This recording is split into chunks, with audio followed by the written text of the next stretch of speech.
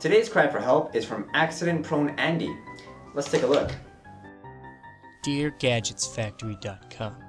Help me, please. I always get into accidents. Everything I do ends up getting me physically hurt. Just yesterday, I was crushed by a 55 pound box of A4 paper in my office storeroom. I fell out of my chair. I tripped on a pouch. I even ran into my desk. I just got a new car and a, and a driver's license, and I'm really worried that something might happen and I won't be able to do anything about it.